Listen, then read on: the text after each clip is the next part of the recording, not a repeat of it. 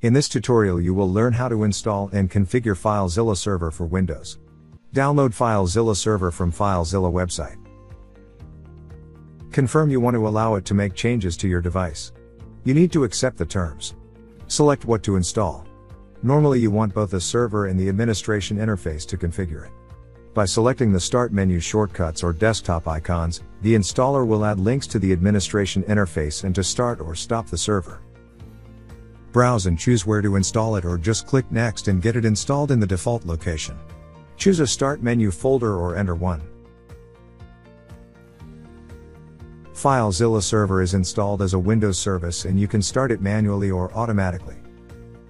The checkbox to start the server after the setup completes is selected by default, deselect it if you want.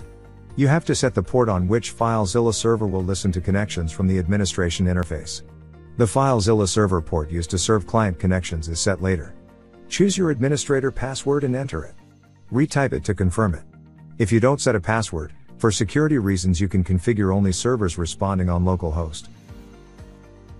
The administration interface can be set to start automatically for every user, for the current user or manually.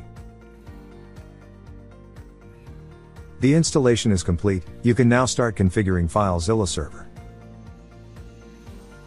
The connection dialog requires you to enter the host, that might be either an IP address or a host name, a port number and your password.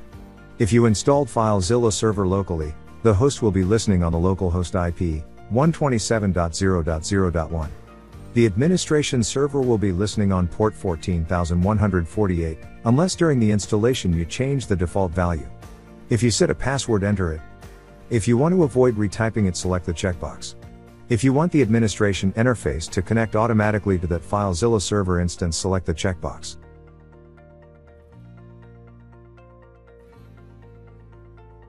To create a user click on the Add button. Choose a name for the user and select the type of authentication. You can allow the user to access the server with or without a password, or using system credentials. For example, you can set slash as virtual path, associate a native path to it and set the permissions you like.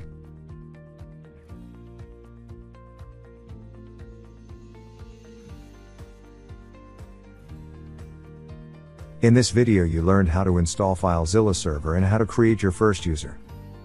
In this tutorial you will learn more about FileZilla server's user types and how to use placeholders to define native paths.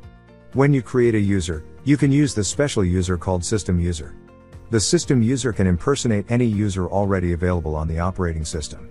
In this case you can only use system credentials to log in. System credentials consist of a username and a password of a local user. You can also select the Use System Credentials also for accessing files and directories checkbox, to grant the user the same access privileges that are associated with their host operating system account. To enable anonymous access to your server, create a user and select Do not require a password to log in. If you don't want to use the operating system's user accounts but you want users to authenticate, select the option Require a password to log in.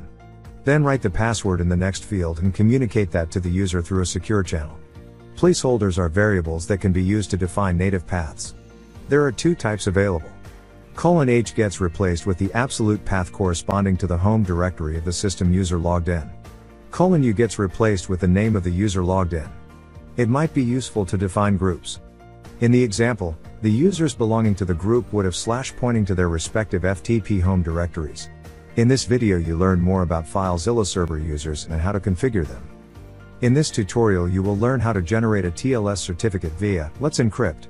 In the administration interface log in using your credentials. Go to the server menu and select Configure. On the left click on Let's Encrypt. Check the checkbox to enable Let's Encrypt certificate generation. If you don't already have a Let's Encrypt account, you need to create it. Click on the Generate New Account button. You need to input at least one contact URL and specify which ACME protocol directory. The URL in this case must be an email address, which must begin with mail to colon. The ACME directory might be either Let's Encrypt Production, Let's Encrypt Staging or a custom one.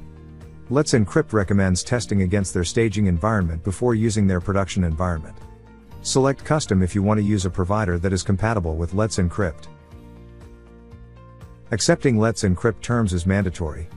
Click on the link to learn more. Let's Encrypt generates your certificate.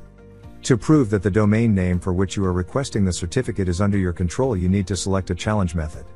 You can either use an internal, minimal web server created on the fly by FileZilla server, or use an already running web server whose file system FileZilla server has access to. Go to Protocol Settings, FTP and FTPS, and in the Connection Security tab from the TLS Certificate top-down menu, select Use Let's Encrypt Certificate. Click on the Generate New button and enter one or more host names. Then click the OK button. The internal web server must be reachable from the internet. Make sure that the IP addresses associated to your host names are properly routed to the FileZilla server. If everything works, you'll get the certificate. Click the OK button to start using the new certificate. The log will show that a new certificate has been generated. In this tutorial you will learn how to manage FileZilla server network configuration. Go to the server menu and select Network Configuration Wizard. The welcome screen provides basic information about active and passive mode. The wizard will help you to configure your router and firewall to support passive mode. Set the range of ports that will be used for passive mode data connections. You can either set a custom port range or let the operating system decide. In any case you need to configure the appropriate port forwarding rules on the NAT device. Enter the host name or the IP address where the FileZilla server will be made available. For local connections leave the checkbox checked to confirm the choice to use the local IP instead. Remember that to allow users to connect from the internet you need to make sure firewalls and routers are properly set. The last dialog recaps all configurations. Please double check them all. Make sure both your router and firewall are configured so that the connections can pass through. If everything looks good click on the finish button. The log will show that a new configuration has been successfully stored. If you want you can use our online FTP tester to see if everything works. Manual configuration. Actually, you can also configure FileZilla server without using the wizard. Click on the passive mode tab. The window dialog contains all configurations. To use a custom range of ports, select the Use Custom Port Range checkbox. Now enter the lower bound in the first field and the upper bound in the second one. Consider setting the range greater than the number of transfers that will take place in a 4 minutes interval. For example, the current range would be able to accommodate at least 5,000 transfers in that period of time. If you want the FileZilla server to be reachable via the internet, in the next field you need to enter its public IP address or its host name. By default, FileZilla server uses the default host for local connections. You might deselect that option to test locally your network configuration though. Now let's see how to connect to FileZilla server in active mode. For this part of the video, we'll use FileZilla Pro client. Make sure FileZilla server is allowed to establish outgoing connections to arbitrary ports, since it is the client deciding which port to use. Check your firewall configurations and update them if needed. Now launch FileZilla Pro to test your connection. In the settings go to FTP and select active mode. You might want to limit the number of ports to be used, by default are not limited.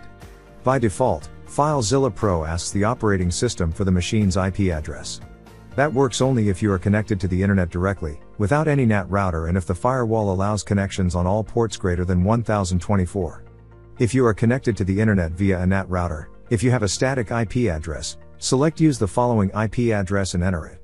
If you don't have a static IP, select get external IP from the following URL and enter your dynamic IP provider or use the one provided by FileZilla Pro. Double check you open the ports in your firewall and that you set appropriate routing rules on your NAT router to forward these ports to your machine. Now you should be able to connect to the FileZilla server. In this video, we will show you how to export and import FileZilla server configurations. Access the administration interface of the server and from the server menu. Select Export Configuration. By default, all items are selected. You can review and modify these selections according to your needs. To import a server configuration from the administration interface, go to the server menu and select Import Configuration. The file dialog allows you to choose the configuration file you want to import. Once you select a configuration file, you will see a list of the available items to import. You can only select items that exist in the actual configuration file. Press the OK button to initiate the import process. The imported settings have effect immediately. The administration interface will report the results of the import in the log, which you can review in the most recent log entry. FileZilla server is fast and reliable and it supports FTP and FTPS.